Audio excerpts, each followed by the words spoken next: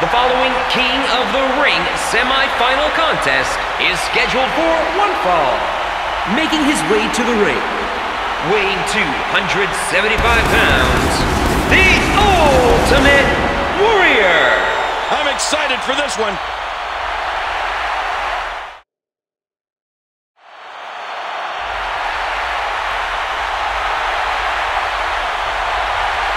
And approaching the ring from Victoria, Texas, weighing 252 pounds,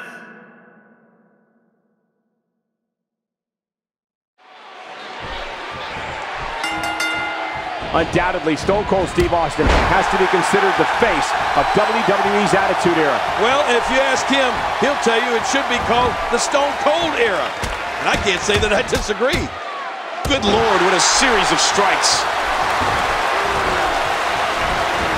He sweeps his leg, and there's the STO! And again, the feet fly.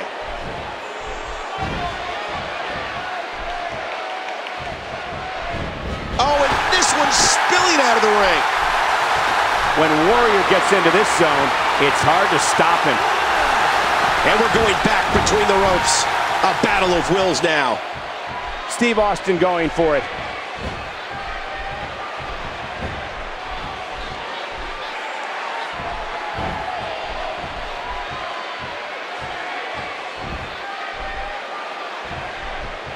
Again, he sent crashing to the outside. Oh, look at the emotion.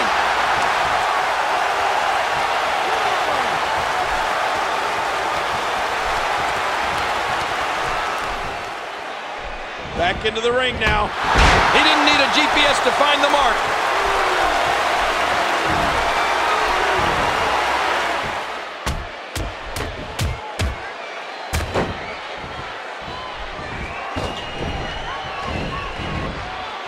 Austin with a reversal. Yeah, Stone Cold can react to what you're doing in the ring so quickly. That's what makes him so dangerous. And there's that modified judo throw, the STO. Can he capitalize?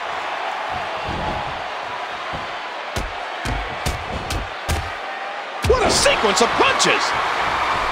Big kick echoing around the arena. What's he going to do here? What's he going to do here? And Warrior counters. Well, when you have a chance to get some offense on the Warrior, you must take advantage.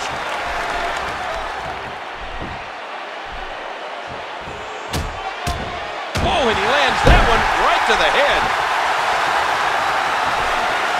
Reversal.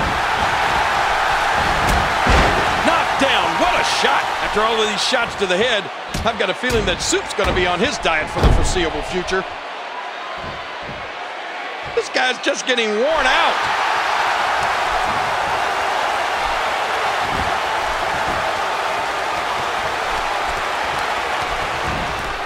Look at this. This could be it.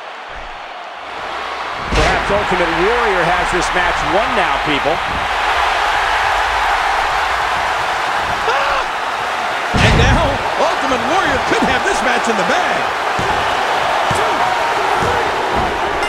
Warrior for the win.